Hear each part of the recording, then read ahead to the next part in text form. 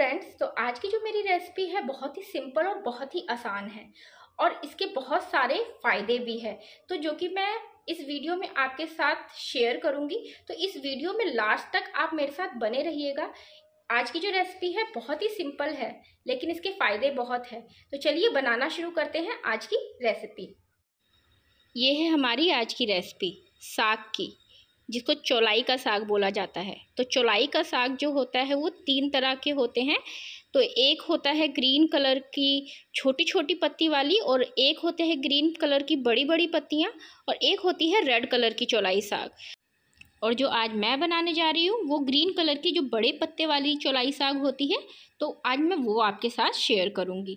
हमने यहाँ एक किलो साग लिया है और उसको अच्छे से हमने बीच लिया है और धो के अब हम उसे काटना शुरू करेंगे। तो इस तरीके से हम सभी साग को रफली चॉप कर लेंगे। इस साग को बिहार में ठरिया साग के नाम से जाना जाता है और दिल्ली और मुंबई में इसको चौलाई साग के नाम से जाना जाता है। तो अगर ये साग आपको कहीं भी मिले तो इस साग को आप ज़रूर बनाइए और हमें इस रेसिपी में क्या क्या चाहिए वो देख लेते हैं। तो हमें चाहिए होगा प्याज, पाँच से छः हरी मिर्च, अदरक, लहसुन और एक टमाटर।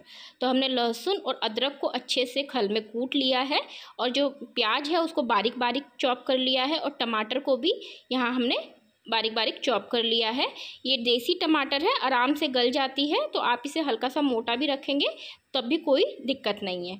तो अब हम गैस पे एक कढ़ाई चढ़ाएँगे और और जब तेल पक जाए तो उसमें हम ऐड करेंगे तेज़पत्ता तेज़पत्ता का कलर थोड़ा सा चेंज हो जाए तो उसमें हम ऐड करेंगे जीरा। और जब जीरा चिटकने लग जाए तो उसमें हम ऐड करेंगे जो हमने हरी मिर्च ली थी, चार से पाँच कट करके तो उस तरीके से हम इसमें ऐड कर देंगे। और जब थोड़ा सा मिर्ची का भी कलर चेंज हो जाए पक के तब उस स्टेज पे हम ऐड करेंगे जो हमने अदरक और लहसुन को कूट के रखा था। तो इस तरीके से हम सबको भून लेंगे और अदरक और लहसुन का जब कलर थोड़ा सा चेंज हो जाए, गोल्डन ब्राउन हो जाए तो इस स्टेज पे हम ऐड करेंगे आधा चम्मच यहाँ पे लाल मिर्च। लाल मिर्च हमने इसलिए ऐड किया है क्योंकि इससे साग में कलर बहुत सुंदर आता है। जब आप इसमें मिर्च का मसाला ऐड करेंगे, उस टाइम आप अपना गैस का फ्लेम बिल्कुल लो रखिएगा, जिससे कि जो लाल मिर्च है वो जले नहीं और वो कलर अच्छा दे। तो अब हमने ऐड कर दिया है प्याज। प्याज को अच्छे से यहाँ पे हम भून लेंगे दो से तीन मिनट तक। तो जब तक इसका सुनहरा कलर ना हो, तब तक आपको इसे पकाना है। तो इस तरीके से आप इसे एक चम्मच की सहायता से इसे मिला दीजिए और सुनहरा कलर होने तक इसे पका लीजिए। जब प्याज अच्छे से पक जाए तो अब इसमें हम ऐड करेंगे थोड़ा सा स्वाद अनुसार नमक। तो हमने यहाँ दो चम्मच नमक ऐड किया है तो उसको अच्छे से चला देंगे। अब जब ये अच्छे से पक जाए तो इसमें हम ऐड करेंगे टमाटर। और टमाटर, यहाँ पे ये देसी टमाटर है, बहुत जल्दी गल जाती है तो हमने इसे ढक के पकाया। तो यहाँ देख सकते हैं कि ये कितने अच्छे से सॉफ्ट हो चुकी है। और अच्छे से इसे मिला देंगे। और याद रखिएगा, इसमें हमने कोई मसाले ऐड नहीं किए हैं।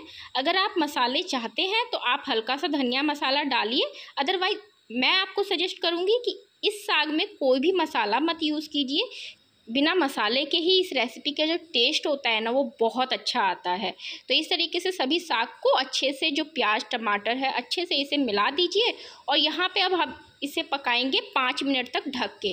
और याद रखिएगा, इसमें पानी की भी ज़रूरत नहीं होती है, साग में अपना ही पानी होता है, उसी में ये अच्छे से पक जाता है और बहुत अच्छी साग बन के तैयार होती है। सूखी सूखी साग बनाएँगे, सूखी सब्ज़ी चौलाई की, जो कि बहुत अच्छी बन के तैयार होएगी और बहुत टेस्टी भी लगेगी।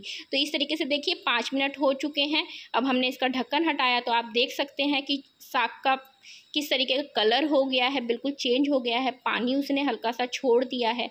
तो इस स्टेज पे फिर से हम इसे अच्छे से चलाएँगे और अब यहाँ पे हम ढक के इसे 10 से 15 मिनट के लिए बिल्कुल गैस का फ्लेम जो है, लो कर देंगे और 15 मिनट के लिए छोड़ देंगे और इसे पकने देंगे। तो ये जो साग है ना, इस साग को ज़रूर बनाइए, क्योंकि इस साग के बहुत सारे फ़ायदे होते हैं। जो कि आप सुनेंगे, जानेंगे तो दंग रह जाएँगे। और इस रेसिपी को आप ज़रूर बनाओगे और सबको ज़रूर खिलाओगे। जैसे कि साग में भरपूर मात्रा में कैल्शियम होता है, ये हड्डियों को मज़बूत बनाता है तो बच्चों को तो ये ज़रूर खिलाओ। और इसमें अगर किसी को कब्ज़ की शिकायत है तो इस साग का सेवन करेंगे तो कब्ज़ की समस्या भी आपकी दूर होएगी। इम्यूनिटी पावर स्ट्रॉन्ग होता है तो बहुत सी इस साग के बेनिफिट्स हैं। और इस साग में calcium, potassium, sodium, vitamin A E C भरपूर मात्रा में पाया जाता है। तो इस साग को कौन नहीं बनाएगा और कौन नहीं खाएगा? तो देख सकते हैं यहाँ पे पंद्रह मिनट हो चुके हैं और ढक्कन हटा दिया गया है और यहाँ पे ये कितना सुंदर लग रहा है साग देखने में। इसका जो सारा पानी था वो सूख चुका है और चौलाई साग की सूखी सूखी सब्ज़ी कितनी सुंदर लग रही है देखने में। तो आप इसे रोटी के साथ खा सकते हैं या चावल के साथ, ये बहुत ज़्यादा टेस्टी लगते हैं। तो इसको इंजॉय कीजिए आप रोटी के साथ या चावल के साथ, जिसके साथ आपका मन करे। और अब आप ये जान चुके हैं कि ये साग हमारे लिए कितना फ़ायदेमंद है तो इस रेसिपी को ज़रूर ट्राई कीजिएगा और इसका जायका जो है कमेंट बॉक्स में ज़रूर लिख के बताइएगा। बहुत ही सिंपल रेसिपी है और बनाना तो बहुत आसान है ही और इसका जायका भी बहुत अच्छा लगता है। तो अगर आपको वीडियो पसंद आई हो तो लाइक कीजिए सब्सक्राइब कीजिए। मिलते हैं आने वाली नेक्स्ट वीडियो में। अपना ध्यान रखिएगा। बाय